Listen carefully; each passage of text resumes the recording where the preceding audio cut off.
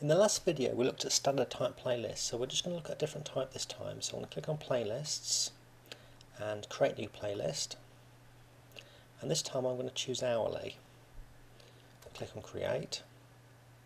And the idea of an hourly playlist is you add whatever presentations you want to play over a particular hourly period, and then the end of the hour it just simply loops. So um, whatever's playing for one hour will play for the next hour, the next, the next.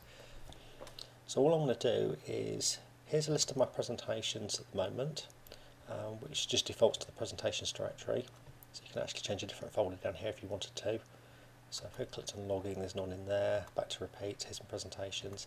And presentation one and presentation two are just a couple I knocked up in the, the last video. So all I'm going to do is I'm going to hold down my left mouse button on the presentation one, drag it over um, to this position. So that's going to play from the first five minutes of the hour. But what I'm going to do is I'm going to click on it, drag this down and say for the first 30 minutes of the hour I want presentation one running.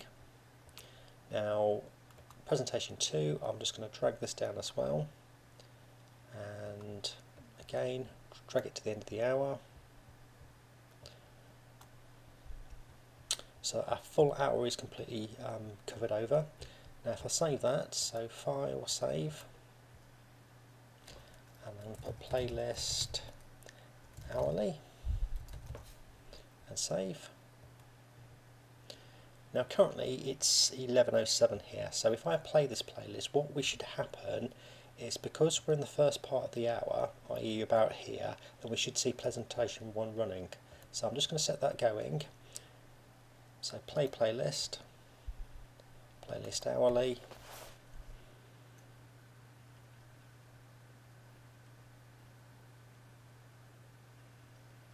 and presentation one exactly as we expected. So just to close this down, right mouse click and exit.